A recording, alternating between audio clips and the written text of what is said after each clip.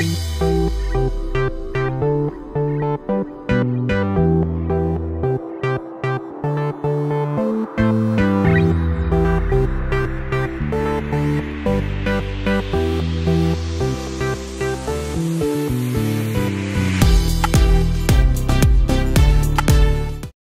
guys. Uh, right now i'm in the northwest of china. It's a small town. It's called yangling which is in shaanxi province and you people might know that most of the north area of china they are very cool. So today is the first snowfall and uh, you might see the snow. Uh, yeah it's a white yeah.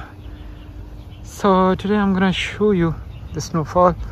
So it's the first snowfall so let's enjoy the first snowfall with me